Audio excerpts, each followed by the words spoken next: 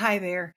If you've been a Seventh day Adventist for any length of time, you may have noticed that the phrase spirit of prophecy is commonly used to refer to the writings of Ellen White. But what we're going to do here in this video is we're going to take a look at a few statements from Ellen White that make it quite clear that she herself could not have been using the term spirit of prophecy to refer to her writings. Now, this doesn't in any way diminish the importance of Ellen White's writings. We're simply looking at how she used this phrase, spirit of prophecy. So, our goal here isn't necessarily to explain exactly what the spirit of prophecy is. We do have other videos on this channel for that, and we're going to link them right down below. But in this video, we're going to do something very specific. We're simply looking to show that Ellen White herself did not use a phrase, spirit of prophecy, as referring to her writings. That said, let's take a look at the first statement. So, here in Testimonies for the Church, Volume 1, Ellen White says, I would call a special attention to the remarkable dreams given in this little work, all with harmony and distinctness, illustrating the same things.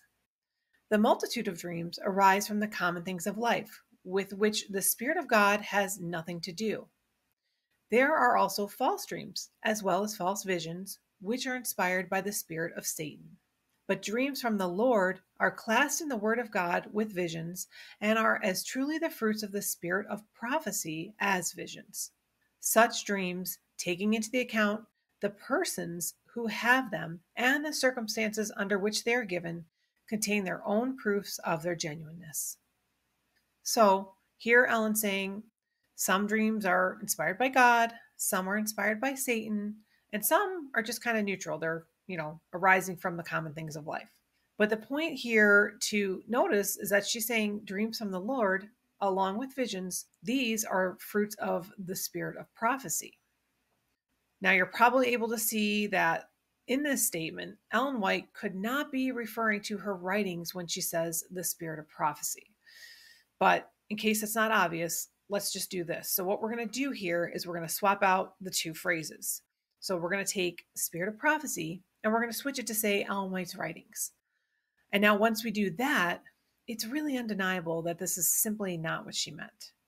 So what we'll do is we'll go ahead and do this with each of the quotes as we go through them, just to make the distinction really obvious.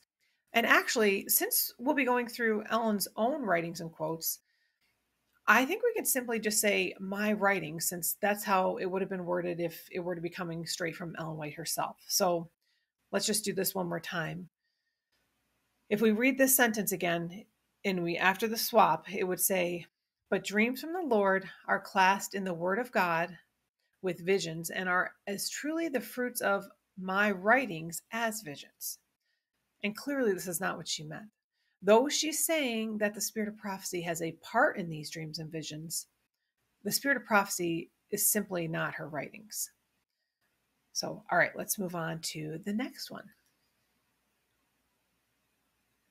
So here she says, had Christ come to this world with the outward display, the power, and the rank that he might have had, his object would not have been accomplished.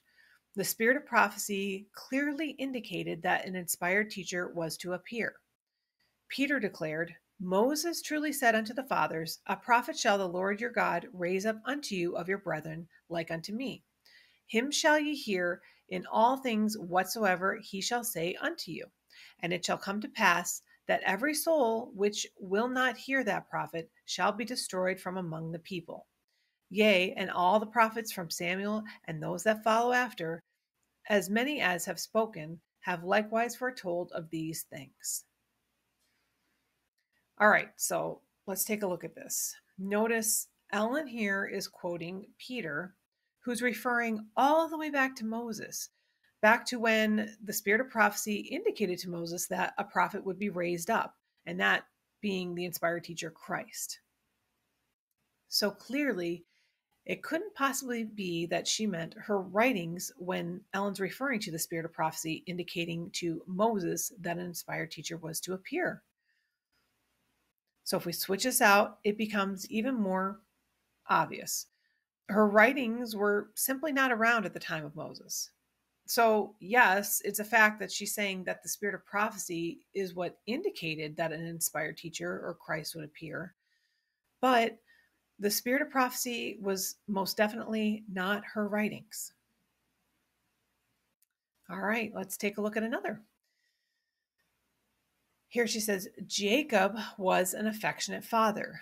He had no resentful feelings toward his sorrowing children. He had forgiven them. He loved them to the last. But God, by the spirit of prophecy, elevated the mind of Jacob above his natural feelings. In his last hours, angels were all around him, and the power of God rested upon him. His paternal feelings would have led him to utter in his dying testimony only expressions of love and tenderness. But under the influence of inspiration, he uttered truth, although painful. So here we have Jacob having his mind elevated by the spirit of prophecy. Again, now this took place long before Ellen White's writings ever existed. It's very clear God was not using her writings to elevate the mind of Jacob. I mean, we can plainly see God use the spirit of prophecy as a means by which to aid Jacob. But the real point we're making here is that Ellen White did not understand this means to be her writings. She was portraying the spirit of prophecy as something that is clearly not her writings. So, moving on. This next one is very short and to the point. Uh, this one comes from Acts of the Apostles. And Ellen says Silas, Paul's companion in labor, was a tried worker gifted with the spirit of prophecy. Okay, so there's really not a whole lot to be said here. The fact is is that whatever she meant by the spirit of prophecy, she simply couldn't have been referring to her writings. Okay, on to the next. Okay, so for the sake of time, I'm just going to go ahead and summarize this first paragraph here. And, and feel free to pause at this point if you would just like to read it through for yourself. But here in this first paragraph, Desire of Ages, page 55, Ellen is writing about the time when Jesus was being brought to the temple for dedication. So Simeon sees Joseph and Mary with Jesus, and he recognizes that this is the Messiah. This is the one he's been longing to see. So Simeon takes the infant Savior and as Simeon lifts him toward heaven, he basically says, I can die a happy man now that I've seen the Messiah. And then in the next paragraph, that first line there, it reads, The spirit of prophecy was upon this man of God. And while Joseph and Mary stood by, wondering at his words, he blessed them. And you can read on from there, you know, if you'd like. But the thing to look at here is if we take a closer look at this phrase, spirit of prophecy, again, we're going to clearly see Ellen is not referring to her writings. And I'm sure this is becoming so plainly obvious, but just for the sake of showing how obvious it truly is, her writings were just simply not around at the time that the infant savior was being dedicated. I mean, this was taking place at least 1800 years too early for her writings. Okay, I'm going to go through one more with you guys. And in this last one, Ellen White says, The Lord opened more fully to Enoch the plan of salvation, and by the spirit of prophecy carried him down through the generations which should live after the flood, and showed him the great events connected with the second coming of Christ and the end of the world. Enoch faithfully rehearsed to the people all that God had revealed to him by the spirit of prophecy. So, what do you think? I mean, there's really not a whole lot to say here, except that if we really just look at this logically, putting aside whatever idea or ideas that we may currently hold, just set those aside for a minute and just read her statement here as it reads. There's no denying that Ellen White is not referring to her writings when she's speaking of the spirit of prophecy.